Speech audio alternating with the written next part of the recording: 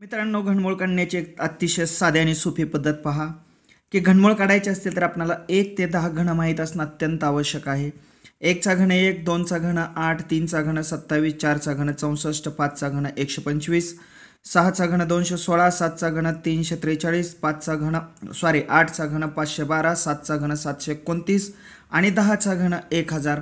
हे घन पाठ असणं आवश्यक आहे. या घणांचं नीट निरीक्षण केल्यानंतर पहा एकचा घन असेल तर त्याच्या एकक स्थानी एकच आहे सहाचा असेल तरी देखील सहा आहे. सात चारचा असेल तर त्याच्या एक घन केल्यानंतर त्याच्या एकक स्थानी चार आहे नऊचा असेल तर एकक स्थानी नऊ आहे पाचचा असेल तर पाच आहे. परंतु अशा काही चार संख्या आहेत की त्यांचा घन हा वेगळा आहे. दोनचा घन केल्यानंतर त्याच्या एकक स्थानी आठ येते आणि सातचा घन केल्यानंतर त्याच्या एकक स्थानी किती येतो? तीन आठचा घन केल्यानंतर एकक स्थानी दोन आहे आणि तीनचा घन केल्यानंतर एकक स्थानी सात आहे मग घन काढण्याची साधी आणि सोपी पद्धत आपण या व्हिडिओमध्ये पाहणार आहोत मित्रांनो. पहा एक संख्या मी देतो आहे घन करण्यासाठी. तेरा हजार आठशे चोवीस या संख्येचं आपल्याला घनमूळ काढायचं आहे. आपल्याला काय काढायचं आहे? घनमूळ काढायचं असेल. तर घनमूळ काढत असताना एक लक्षात ठेवा तेरा हजार आठशे चोवीसचा आपल्याला जर घनमूळ काढायचं असेल तर एक गोष्ट आपल्याला माहीत असणं आवश्यक आहे मित्रांनो की काय? त्याचे घन माहीत झाले आता घनमूळ आपल्याला काढायचं आहे. तर एकक स्थानी किती आहे याच्या? चार आहे. म्हणून चार लिहा. एकक स्थानी किती आहे? चार आहे. म्हणजे या संख्येचं घनमूळ केल्यानंतर त्या संख्येच्या एकक स्थानी सुद्धा किती येणार आहे? चार येणार आहे. पहा चारचं घनमूळ ग- घन केल्यानंतर किती येते चौसष्ट. बरोबर आहे? ह्या चौसष्ट घनमूळ केल्यानंतर एकक स्थानी सुद्धा किती येते चार. म्हणून याही पूर्ण संख्येचं घनमूळ केल्यानंतर त्याच्या एकक स्थानी सुद्धा किती येणार आहे? चार. हे आपल्या लक्षात आलं. मग मित्रांनो पहा हे तीन अंक सोडून द्या. वर्ग करताना वर्गमूळ करताना आपण काय करत होतो? की याचे दोन अंक काय करत होतो? सो एकक आणि दशकस्थांचा अंक सोडून देत होतो. आठशे चोवीस सोडून द्या. आता ही तेरा राहिली. तेरा ही संख्या कोणत्या घणातून वजा होते ते पहा. तेरा ही संख्या कोणत्या घणातून वजा होते? ला मोठ्यात मोठ्या. पहा तेरा ही संख्या एकमधून तेरा ही संख्या कोण तेरा ह्या संख्येतून कोणता घन वजा आहे आपल्याला पाहायचा आहे? एक होतो आहे आठ होतो आहे पण मोठ्यात मोठा कोणता घन वजा आहे तेरामधून तर आठ. म्हणून त्याचं घनमूळ किती आहे? दोन. म्हणून इथं दोन घ्या. म्हणून या संख्येचं घनमूळ असणार आहे किती? चोवीस. मित्रांनो लक्षात आलं कशा पद्धतीनं सोडवलंय? पुन्हा एकदा सांगतोय की तेरा हजार आठशे चोवीस या संख्येचं आपल्याला घनमूळ काढायचं आहे त्याच्या एकक स्थानी किती आहे? चार आहे. म्हणून इथं आपण किती घेतलं? चार. त्यानंतर या तीन संख्या आपण सोडून दिल्या. त्याच्यानंतर राहिलेल्या तेरा. तेरा या संख्येतून कोणत्या संख्येचं घन वजा जातोय ते पहा. तर दोनचा घन वजा जातोय. म्हणून ह्या किती आठ वाजा होतं? सत्तावीस होतं आहे का नाही? आठ वाजा होतं. म्हणून हे आठचं घनमूळ किती आहे? दोन. या ठिकाणी घेतलं. म्हणून तेरा हजार आठशे चोवीसचं घनमूळ किती आलं? चोवीस. म्हणून मित्रांनो आपल्या लक्षात आलं असेल की कोणत्याही संख्येचं जर आपल्याला घनमूळ काढायचं असेल तर हे घन पाठ असणं आवश्यक आहे.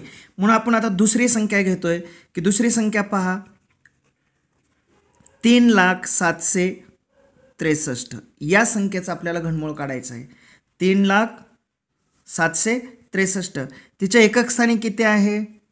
तीन. एकक स्थानी तीन आहे म्हणल्यानंतर आपल्या लक्षात येईल की घनमूळ केल्यानंतर त्याच्या एकक स्थानी किती असणार आहे? सात. लक्षात आलं?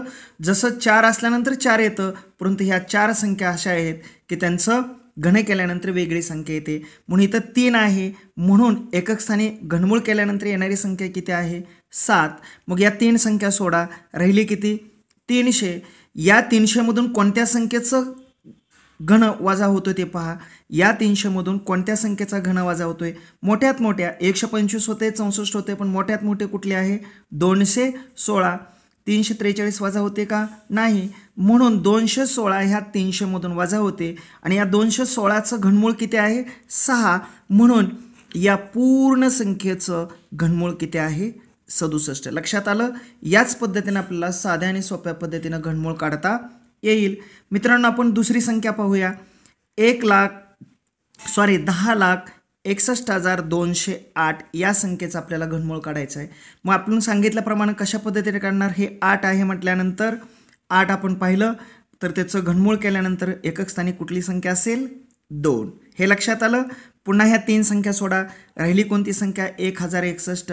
ह्या एक हजार एकसष्टमधून कोणत्या संख्येचा वर घन वजा आहे तर दहाचा घन वजा जातो ही संख्या एक हजार वजा होते. म्हणून एक हजारचं घनमूळ किती आहे? दहा. म्हणून इथं आलं दहा. म्हणून दहा लाख एकसष्ट हजार दोन दोनशे आठचं घनमूळ किती येतं? एकशे दोन. अशा पद्धतीने आपल्याला घनमूळ काढता येतील. आणखी एक उदाहरण पाहू आपण. सत्त्याण्णव हजार तीनशे छत्तीस या संख्येचं घनमूळ आपल्याला काढायचं आहे. या ठिकाणी किती आहे? सहा. सहा हे म्हणल्यानंतर त्याचं घनमूळ केल्यानंतर सुद्धा एकक स्थानी किती येणार आहे? सहाच येणार आहे. मग ह्या तीन संख्या सोडा सोडल्या किती राहिलं? सत्त्याण्णव. सत्त्याण्णवमधून कोणती घनसंख्या वजा होते? तर कोणती होते? चौसष्ट. पंचवीस होते का? एकशे पंचवीस नाही. या सत्त्याण्णवमधून चौसष्ट ही संख्या वजा होते. मोठ्यात मोठी कुठली आहे? चौसष्ट. म्हणून चौसष्टचं घनमूळ किती आहे? चार. म्हणून या ठिकाणी किती येईल? चार. म्हणून सत्त्याण्णव हजार तीनशे छत्तीसचं घनमूळ किती येतं? सेहेचाळीस. या पद्धतीनं मित्रांनो आपल्याला कोणत्याही संख्येचं घनमूळ अतिशय साध्या आणि सोप्या पद्धतीनं काढता येतं. यासाठी आपणास हे घन पाठ असणं आवश्यक आहे.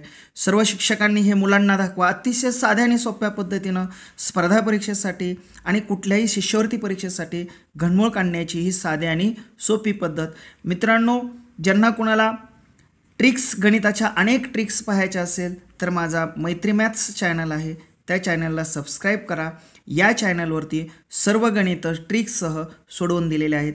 तर पुढील व्हिडिओ पाहण्यासाठी माझ्या चॅनलला आणि मैत्री परिवारामध्ये समाविष्ट होण्यासाठी माझ्या मैत्री मॅथ्स चॅनलला सबस्क्राईब करा. धन्यवाद. पुढील व्हिडिओ पाहण्यासाठी माझ्या चॅनलला सबस्क्राईब करा. धन्यवाद.